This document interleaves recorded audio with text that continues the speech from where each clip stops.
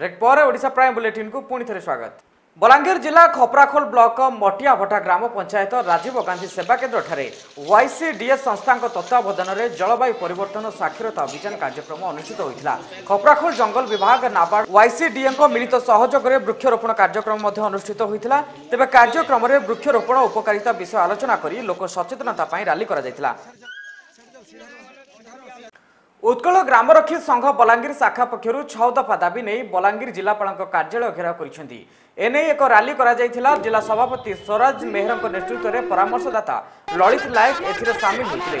ସ୍ଥାନୀୟ କୌଶଳ କଲମ ମଣ୍ଡପ ପଡ଼ିଆରୁ ରାଲି ବାହାରି ସହର ପରିକ୍ରମା କଲାପରେ ଗ୍ରାମରକ୍ଷୀ ସଂଘ ପକ୍ଷରୁ ଜିଲ୍ଲାପାଳଙ୍କ କାର୍ଯ୍ୟାଳୟ ଘେରାଉ କରାଯାଇଥିଲା। ତେବେ ଆନ୍ଦୋଳନକାରୀ ଗ୍ରାମରକ୍ଷୀମାନେ ଉପଜିଲ୍ଲାପାଳଙ୍କ କାର୍ଯ୍ୟାଳୟ ସମ୍ମୁଖରେ ରାସ୍ତାକୁ ମଧ୍ୟ ଅବରୋଧ କରିଥିଲେ। ଫଳରେ ରାସ୍ତା ଅବରୋଧ ନ କରିବାକୁ ଟାଉନ ଥାନା ଅଧିକାରୀ ଗୋକୁଳାନନ୍ଦ ସାହୁ ଗ୍ରାମରକ୍ଷୀମାନଙ୍କୁ ଅନୁରୋଧ କରିଥିଲେ। ହେଲେ ରାସ୍ତା ଅବରୋଧ ଜାରି ରହିବ ବୋଲି ଗ୍ରାମରକ୍ଷୀମାନେ ଜିଦ୍ ଧରିବାରୁ ଥାନା ଅଧିକାରୀଙ୍କ ସହ ମୁହାଁମୁହିଁ ଅବସ୍ଥା ଉପୁଜି ପଡ଼ିଥିଲା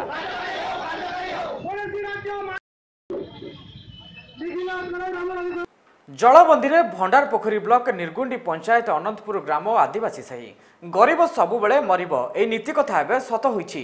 ଅନନ୍ତପୁର ମୁଣ୍ଡାସାହି କ୍ଷେତ୍ରରେ ଘଟିଛି ଏହି ଘଟଣା। ମୁଣ୍ଡାସାହି ଏବେ ଜଳବନ୍ଦୀ ବର୍ଷା ଦିନରେ ପ୍ରବଳରୁ ଅତି ପ୍ରବଳ ବର୍ଷା ହେଲେ ଏହି ମୁଣ୍ଡାସାହିରେ ପାଣି ପଶେ ଏବଂ ନିଷ୍କାସିତ ହୋଇପାରେ ନାହିଁ। ଯାହାଫଳରେ ଏଠାରେ ବସବାସ କରୁଥିବା ଲୋକମାନେ ଜଳବନ୍ଦୀ ଅବସ୍ଥାରେ ରହିଛନ୍ତି। ଏହି ସମସ୍ୟାକୁ ନେଇ ଜିଲ୍ଲା ପ୍ରଶାସନ ନିକଟରେ ବାରମ୍ବାର ଅଭିଯୋଗ କରାଯାଉଥିଲେ ମଧ୍ୟ ଜିଲ୍ଲା ପ୍ରଶାସନ ଏଥିପ୍ରତି କର୍ଣ୍ଣପାତ କରୁନି। ଯାହାକୁ ନେଇ ସାଧାରଣରେ ଏବେ ଦେଖାଦେଇଛି ଅସନ୍ତୋଷ। ଆମର ଯେଉଁ ସ- ପାଣି ସମସ୍ୟା ପାଇଁ ଆମର ବହୁତ ଅସୁବିଧା ହେଉଛି। ଯାହାଫଳରେ କି ଆମର ଛୁଆ ପିଲା ଥଣ୍ଡା ଜ୍ୱର ଜ୍ୱର କାଶ ମ୍ୟାଲେରିଆ ବି ହେଲାଣି। ଆଉ ଆମେ ଖଟି ଖାଇବୁ। ବଜାର ବଜାର ଆମର ଯେଉଁ ଶହେ ଛଅ ନାଳ ହେବା କଥା ବଜାର ଗଭର୍ଣ୍ଣମେଣ୍ଟ ହେଲା କେହି ବୁଝୁନାହାନ୍ତି।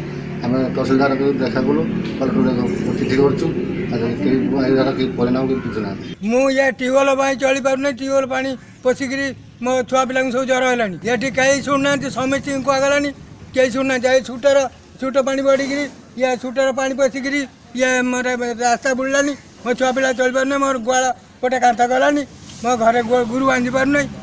ଏସବୁ ଚାହୁଁଛା ଲାଗିଛି ସବୁ ପ୍ରଶାସନକୁ କୁହାସଇଲାଣି ତହସିଲଦାର କତିରୁ ଆର୍ ଆଇ କତିରୁ ସମସ୍ତଙ୍କୁ କଲେକ୍ଟର ପର୍ଯ୍ୟନ୍ତ। କେହି ଶୁଣୁନାହାନ୍ତି। ଢେଙ୍କାନାଳ ଜିଲ୍ଲା ପ୍ରଶାସନ ଏବଂ ମିଳିତ ଗଣେଶ ପୂଜା କମିଟି ପକ୍ଷରୁ ସଦର ବ୍ଲକ ସଭାଗୃହଠାରେ ଚଳିତ ବର୍ଷ ଗଣେଶ ପୂଜା ଓ ଭସାଣୀ ସମ୍ପର୍କରେ ପ୍ରସ୍ତୁତି ବୈଠକ ଅନୁଷ୍ଠିତ ହୋଇଯାଇଛି।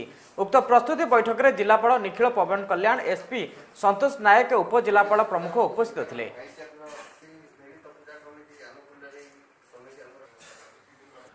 ଯାଜପୁର ଜିଲ୍ଲା ବରି ଏକ ସ୍ୱତନ୍ତ୍ର ପରିଚୟ ଇତିହାସ ପୃଷ୍ଠାରେ ଲିପିବଦ୍ଧ ଅଶୀ ଦଶକ କାଳରୁ।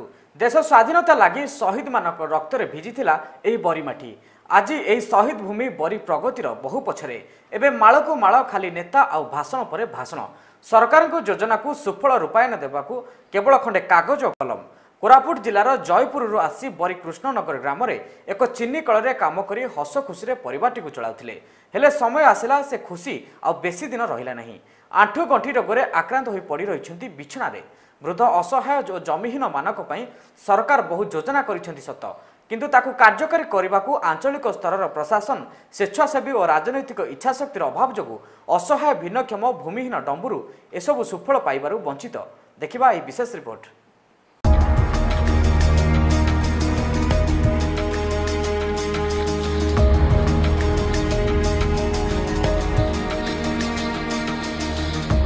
ଇଏ ହେଉଛନ୍ତି ଡମ୍ବୁରୁ ଓ ତାଙ୍କ ପରିବାର। ଯାଜପୁର ଜିଲ୍ଲାର ବରି ବ୍ଲକ କୃଷ୍ଣନଗର ଗ୍ରାମରେ ଥିବା ଏକ ଭଙ୍ଗା ଚିନିକଳ ଘରେ ଦିନ କାଟୁଛନ୍ତି ଏମାନେ। ସତଷଠି ବର୍ଷୀୟ ଡମ୍ବୁରୁ ଜଣେ ଭିନ୍ନକ୍ଷମ ଓ ଭୂମିହୀନ। ପରିବାର କହିଲେ ଚାରିଜଣ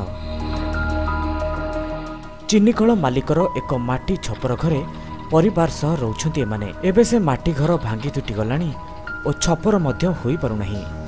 ଚିନିକଳ ବନ୍ଦ ହୋଇଯିବା ପରେ ଅନ୍ୟ ଆଡ଼େ କାମ କରି ଚଳି ଯାଉଥିଲା।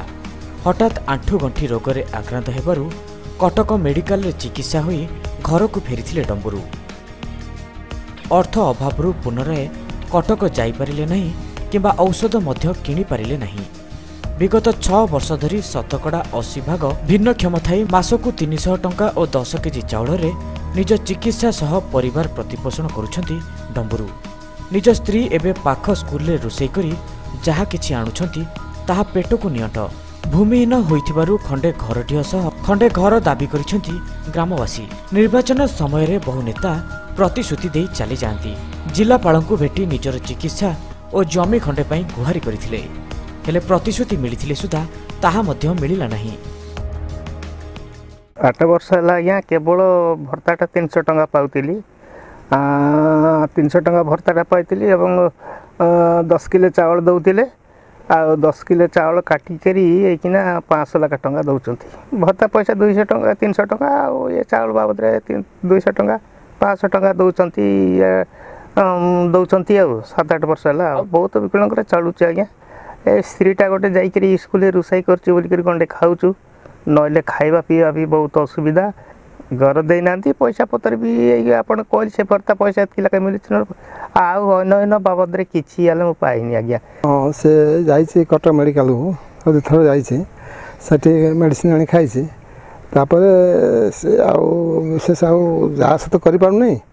ଆଉ ଏଇ ପାଖରୁ କ'ଣ ଯାଇକି ଏଣୁ ତେଣୁ ଟୁଟୁକା ଏମିତି ଦେହ ହାତ ବିନ୍ଧା ଫିନ୍ଧା ଏମିତି ଔଷଧ ଆଣି ଖାଉଛି ଆଉ ବିଶେଷ ଟ୍ରିଟମେଣ୍ଟ ତାକୁ ସୁବିଧା ଦିଆଯାଇନି ହେ, ନିହାତି ଗରିବ ଲୋକଟା ତା ଟ୍ରିଟମେଣ୍ଟ ହେବା ଦରକାର। ତା ଘର ଖଣ୍ଡେ ଦେବା ଦରକାର ଆଉ ପିଲା ଛୁଆ ଅଛନ୍ତି ତାଙ୍କ ପଢ଼ାପଢ଼ି ଦାୟିତ୍ୱ ବୁଝିବା ଦରକାର ଅସହାୟ ଡମ୍ବରୁ ଚାହିଁଛନ୍ତି ପ୍ରଶାସନର ସହାୟତାକୁ ବଞ୍ଚିବା ପାଇଁ ସ୍ୱାସ୍ଥ୍ୟ କ୍ଷେତ୍ରରେ ନା ରହିବା ପାଇଁ ବାସଗୃହ କ୍ଷେତ୍ରରେ ସହାୟତା ମିଳିଛି ତାଙ୍କୁ ସ୍ଥାନୀୟ ବ୍ଲକ ଅଧିକାରୀ ତହସିଲଦାର ଅଧିକାରୀ ଓ ରାଜନେତା କାହାରି କୃପାଦୃଷ୍ଟି ପଡ଼ିନାହିଁ ଡମ୍ବରୁଙ୍କ ଉପରେ ବରୀ ତହସିଲ ଅଧିକାରୀ ମଧ୍ୟ ଏ ବିଷୟରେ କୌଣସି ମନ୍ତବ୍ୟ ଦେବେ ନାହିଁ ବୋଲି ସିଧାସଳଖ ମନା କରିଦେଇଥିଲେ ତେବେ ଏନେଇ ଜିଲ୍ଲାପାଳଙ୍କୁ ଭେଟିବାରୁ ସମସ୍ତ ପଦକ୍ଷେପ ନେବା ସହ ବିଜୁ ସ୍ୱାସ୍ଥ୍ୟ କଲ୍ୟାଣ ଯୋଜନା ଓ ଜିଲ୍ଲା ସ୍ତରରୁ ସ୍ୱତନ୍ତ୍ର ଡାକ୍ତର ପଠାଇ ଚିକିତ୍ସା କରିବାର ବ୍ୟବସ୍ଥା କରାଯିବ ବୋଲି ଜିଲ୍ଲାପାଳ ରଞ୍ଜନ କୁମାର ଦାସ ପ୍ରତିଶ୍ରୁତି ଦେଇଛନ୍ତି।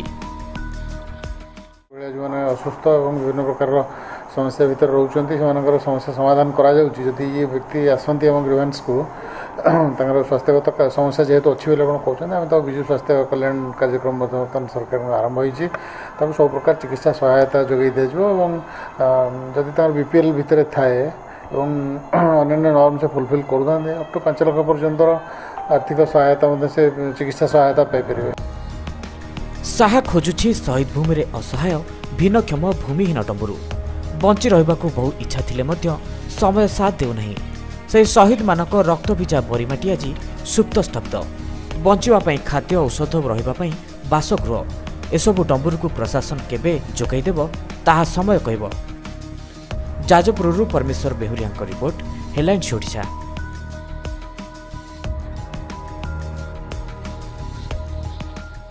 Odisha prime ବୁଲେଟିନ୍କୁ ଏଇଠି ରଖୁଛୁ। ଅଧିକ ଖବର ପାଇଁ ଲଗନ୍ କରନ୍ତୁ। ଆମ website double double double dot Headlines Odisha dot କମ୍ରେ ରହୁଛୁ। ନମସ୍କାର।